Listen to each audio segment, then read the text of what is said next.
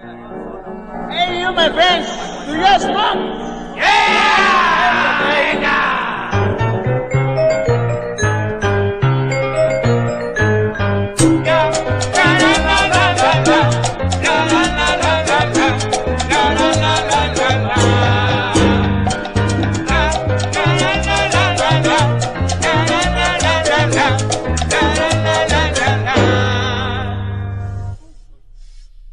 Emma, Emma. Emma Riquini.